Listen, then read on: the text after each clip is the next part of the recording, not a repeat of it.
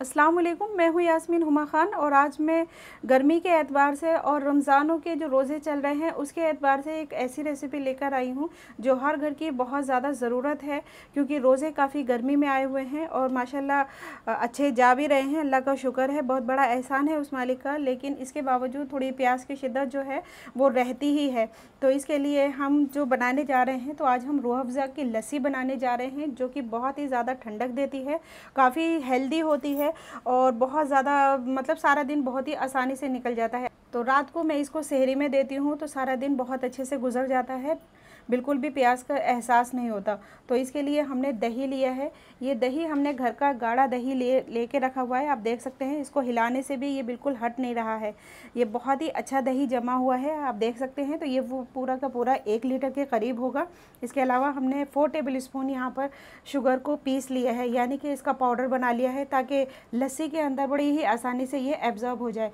और ज़रूरत के मुताबिक हम यहाँ पे रू अफ़ा ले लेंगे। रूअफ़ज़ा जो है दिल को सुकून पहुँचाता है और काफ़ी ज़्यादा हेल्दी होता है हमारे प्यास को कम करने के लिए।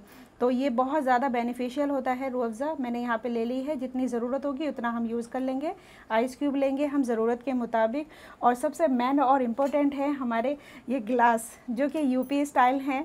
और ये मेरी शादी के गिलास हैं। इसमें हम इसको लस्सी को सर्व करेंगे, क्योंकि ये पंजाबी लस्सी जैसे ही हमें लुक लाना है। और ये देखने में बहुत ज़्यादा अट्रैक्टिव लगते हैं। बच्चे बहुत ही आसानी से इसमें ले लेते हैं।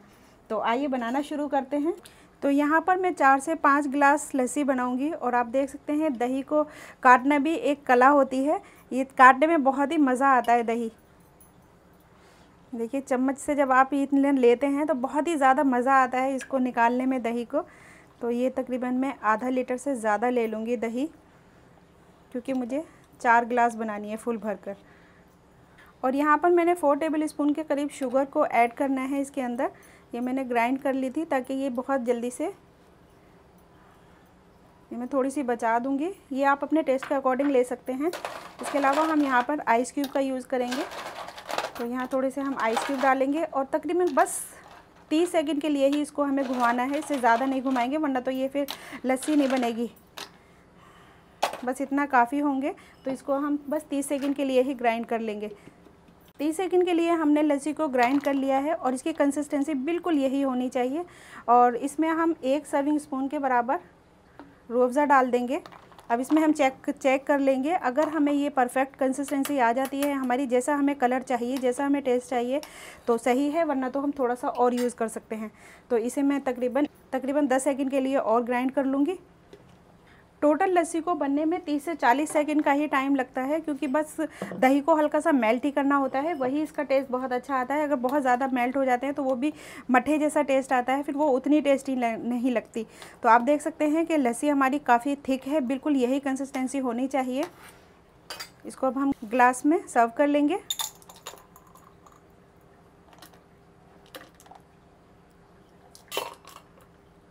लस्सी हमारी बनकर तैयार है, आप इसको इफ़ार के टाइम भी ले सकते हैं और शहरी के टाइम अगर आप लेते हैं तो सारे दिन का रोज़ा बहुत ही आसानी से गुजर जाता है और बहुत ही बेसिक है, बहुत ज़्यादा हेल्दी है तो आप भी इस रेसिपी को ज़रूर ट्राई करें।